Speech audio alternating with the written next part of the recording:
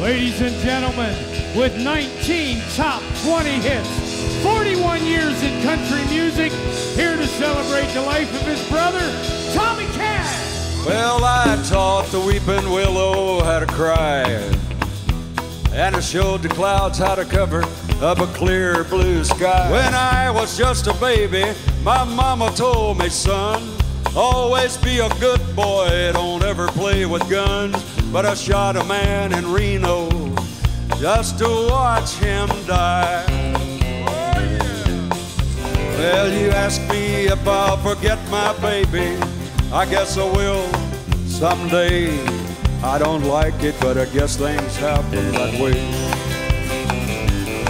I wonder if she's sorry for I'm the baby of seven, and Johnny's fourth from the oldest. And yes, we had the same parents, and he is my brother, absolutely. Well, you know, brothers will differ from time to time, and we did. We had our differences, but we loved each other. And uh, the last few years my brother lived, uh, we got very close, yes. And I miss him. I really, really miss him. Well, I'm gonna write a song the whole wide world can sing. It's gonna be about sunshine, praise every living thing. And it's gonna be about love. The one thing the world needs a lot more of. I'm gonna write a song the whole wide world can sing. John rolled into town one day and he called me up on the phone. He said, Hey, Tommy, this is your brother John. I said, Yeah, I recognize your voice. He said, Close the office down and come on over to the studio. He said, I'm going to record a song today that's going to be the biggest hit I've ever had. And I said, Well, how do you know? He said, I just have a feeling. That was March the 25th, 1963, when he recorded Ring of Fire. I fell into a burning ring of fire. I went down, down, down, and the flames went higher.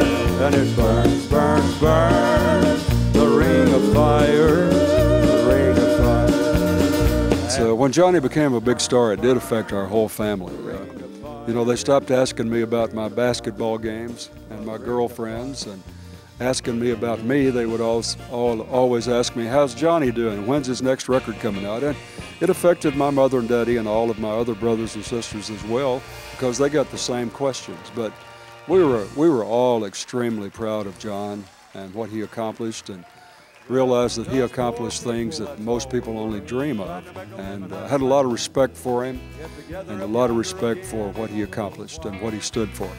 Daddy sang bass, Mama sang tenor. me and little brother would join right in there. Singing seems to help a troubled soul. One of these days, and it won't be long, I'll rejoin them in a song. Gonna join the family circle at the throne Sunday morning sidewalk. I'm wishing, Lord, that I was stoned. Cause there's something in a Sunday that makes the body feel alone. My brother wrote a lot of songs about reality. Here's one he wrote about the cotton farm that we grew up on. I got cotton in the bottomland. It's up and growing, and I got a good stand. That good wife and them kids of mine are gonna get new shoes come picking time. Get new shoes come picking time. The movie Walk the Line is a great movie. The, the uh, acting is superb. There were a few flaws in the movie. I, I think anybody in the family would have their own ideas about how it could have been improved. And one thing that uh, was throughout the movie was that my daddy, Ray Cash, was a mean spirited person, and he wasn't. He was not that way at all. As a matter of fact, he was a fine Christian man. I'm sure when he was younger that he and John may have had their differences, but uh, th- that was all settled a long, long time ago. I keep a close watch on this heart of mine. I keep my eyes wide open all the time. I keep the ends out for the tie that binds because you're mine. I walk the line. I'd get it one piece at a time, and it wouldn't cost me a dime. You'll know it's me when I come through your town, through your town. I guess Six White Horses was the first number one record I had, and that was an exhilarating feeling. Goodbye, John. Goodbye, John. Six white horses come to take you home. Goodbye, John.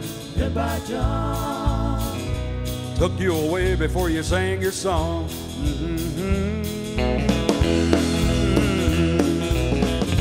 A little shoeshine boy, he never could slow down, but he's got the dirtiest job in town. Bending low at the people's feet, windy corner of a dirty street. Well, I asked him while he shined my shoes, how do you keep from getting the blues? Grinned as he raised his little head, popped a shoeshine rag, and then he said, get rhythm. When you get the blues, come on, get rhythm. When you get the blues, it only costs a dime, just a nickel a shoe. It does a million dollars worth of good for you. Get rhythm when you get the blues. One more time for the band.